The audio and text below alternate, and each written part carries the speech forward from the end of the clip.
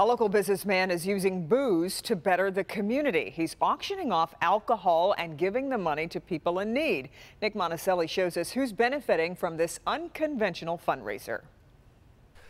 I've got to be honest, this is probably one of the most unique fundraising efforts I have seen when you bring in things like bourbon to raise money for cancer or schools. In fact, I probably shouldn't even have this on the school property. Don't tell anybody. We got the holiday packs in too. We gotta keep the holiday packs looking good.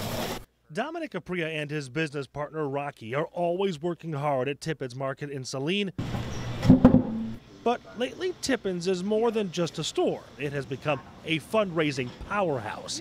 Dominic uses his access to unique and highly sought after bourbons for charity. The first benefactor was the cancer support community of Greater Ann Arbor. Dominic cold called with a proposition. We ended the conversation, and I, I felt awkward because I thought she probably this, this is weird. This is weird.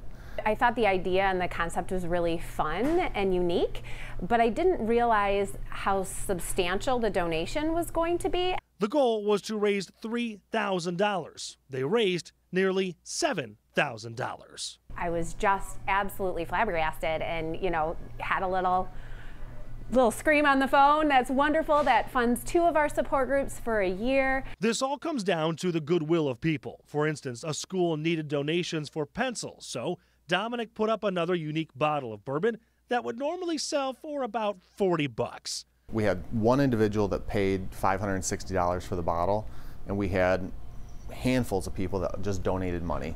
Everybody wanted to help donate a box of pencils or 30 bucks or $20. They raised enough for 13,000 pencils, and it doesn't stop there.